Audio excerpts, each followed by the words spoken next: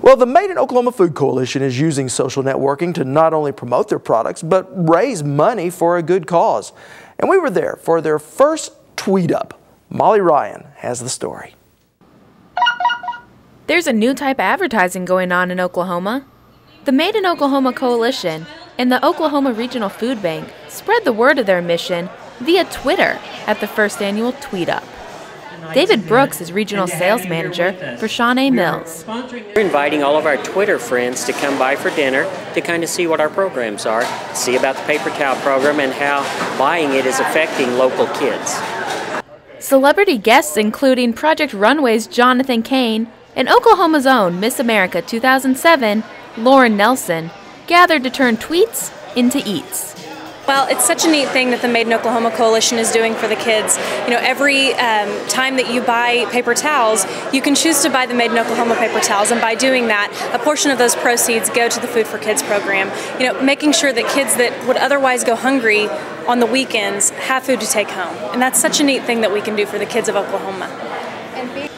Rodney Bivens is the director of the Oklahoma Regional Food Bank and says the money raised by the MIO Coalition will go a long way. Well, the tremendous part about it is we did not have an ongoing source of revenue to support our Food for Kids backpack program. I have a check here for $11,300. And so the MIO Coalition really stepped up and says, we want to take that on to make sure you have an ongoing revenue source to feed hungry children. And Bivens says the MIO funding will help put another 250 children in the program. All thanks to these MIO paper towels. Richard Wasson is the executive director of the Made in Oklahoma Coalition. And by buying Made in Oklahoma products, you help the economy of Oklahoma. So I think it's a, it's a good means of advertising and promoting and building consumer awareness.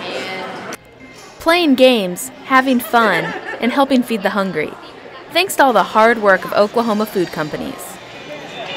State Senator Tom Ivester. If we can produce jobs, that's icing on the cake. Uh, of course, Oklahoma agriculture is a wonderful asset to Oklahoma. Oil and gas and, and agriculture are the, the, backbone of the state. Any way we can help promote that and also help hungry Oklahomans and hungry kids, it's a win-win. Fighting hunger in Oklahoma, one tweet at a time. Well, looks like we are out of time. I'm Rob McClendon. Thanks for watching. See you back here next week.